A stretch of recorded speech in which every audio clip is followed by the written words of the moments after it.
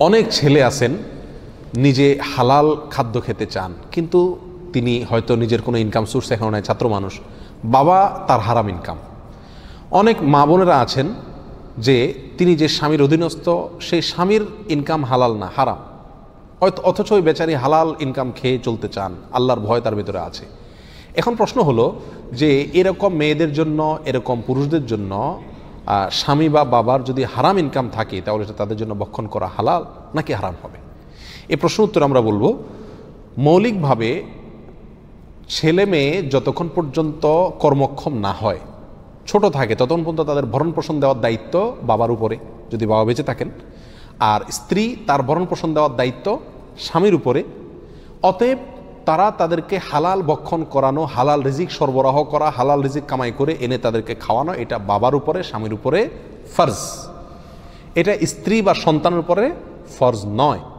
কিন্তু যদি বাবা বা স্বামীর সম্পূর্ণ ইনকামটাই হারাম থাকে, পুরা ইনকাম হারাম, এখানে হালাল কোনো ইনকাম তার নাই, এরকম যদি থাকে, তাহলে সেক্ষেত্রে সন্তান এবং স্ত্রীর বিকল্প যদি কোনো পথে ইনকাম করার কোনো সুযোগ থাকে তাহলে তাদের জন্য এই বাবা এবং স্বামীর উপার্জন, খাওয়া, বক্ষণ করা জায়েজ নাই, হারাম।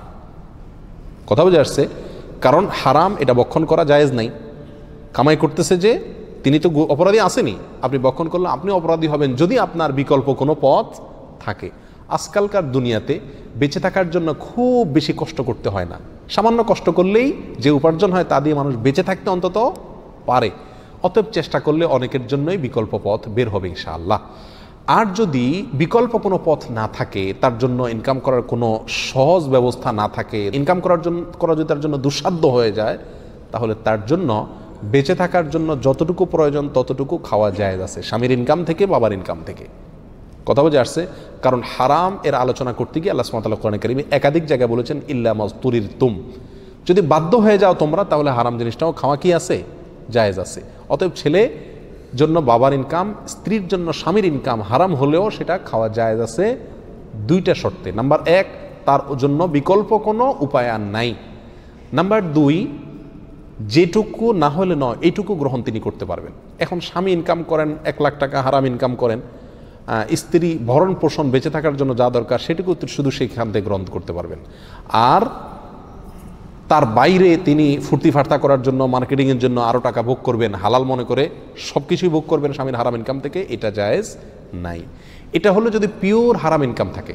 আর যদি হারাম আর হালাল মিক্স থাকে, সেক্ষেত্রে যদি জানতে পারে যে নির্দিষ্ট এই টাকাটা হারাম বা এই আজকের উপার্জনটা হারাম, তাহলে সেখান থেকে বক্ষণ করা জায়েজ নাই। সন্তানের জন্য, বাবার এবং স্ত্রীর জন্য স্বামীর ইনকাম থেকে খাওয়া জায়েজ নাই। যদি কি থাকে, স্বামীর হালাল ইনকামও থাকে, হারাম ইনকামও থাকে দোনোটাই থাকে মিক্স থাকে, দুই ধরনের ইনকামই থাকে। আর যেটা আমি এখন বক্ষণ করতে যাচ্ছি, আমি জানি এই টাকাটা স্পেসিফিকলি সে হারামভাবে কামাই করে নিয়ে আসছে, এটা ঘুষের টাকা নিয়ে আসছে। ওখান থেকে আমি জানলে ওইটা খাওয়া কোনো অবস্থাতে কি নেই? জায়েজ নাই। যদি কি থাকে, তার হালাল হারাম দোনোটা মিক্স থাকে। আর যদি হালাল হারাম মিক্স থাকে, আর নির্দিষ্ট করে আমি জানি না কোনটা হালাল, কোনটা হারাম, সেক্ষেত্রে অনেক ওলামা একরাম বলেছেন, জায়েজ আছে। ওখান থেকে খাওয়া, কারণ দোনোটাই আছে মিক্স আছে। আর অনেক ওলামা বলেছেন না, জায়েজ। এক্ষেত্রে আমরা যদি বলি, বিকল্প কোনো উপায় না থাকলে তার জন্য ওখান থেকে খাওয়া কি আছে? জায়েজ আছে। আর বিকল্প উপায় থাকলে এটা অ্যাভয়েড করাই হলো তাকুয়ার দাবি। আল্লাহ তালা আমাদের সবাইকে হালাল বক্ষণ করার তৌফিক দান করুন। যে সন্তানের বাবা হারামের সাথে সংশ্লিষ্ট, যে স্ত্রীর স্বামী হারামের সঙ্গে সংশ্লিষ্ট, হারাম কামাই করেন, তাদের দায়িত্ব তাদের বাবাকে, স্বামীকে বুঝানো। নসিহত করা যেন তারা হারাম থেকে ফিরে আসে। আর যদি সন্তান বায়না ধরে, স্ত্রী বায়না ধরে স্বামীকে হারাম থেকে ফেরাবে, তো বেশিরভাগ ক্ষেত্রেই সফলতা অর্জন করবে ইনশা আল্লাহ কারণ স্বামীরা বেশিরভাগ ক্ষেত্রেই বউদের কথা শুনে আর যদি বলার মতো বলতে পারে, এবং ছেলেদের কথাও ছেলে মেয়ের কথাও বাবা মা শুনেন যদি বলার মতো, বলতে পারে, দাবি করার মতো, করতে পারে, বায়না ধরতে পারে। তাদের চেষ্টা করা উচিত। ইমাম গাজারি রহমাল্লাহ বলেছেন যে, পূর্বসূরি নারীরা তাদের স্বামীরা ঘর থেকে বের হওয়ার সময় সন্তানরা বাবাদেরকে ঘর থেকে বিদায় দেওয়ার সময় কাজের জন্য যখন বের হবে, তখন বলতেন যে, আপনি হালাল ইনকাম করবেন। হালাল ইনকাম করবেন। না খেয়ে হালাল ইনকামের অভাবে মরে যাওয়া আমাদের জন্য অনেক সহজ।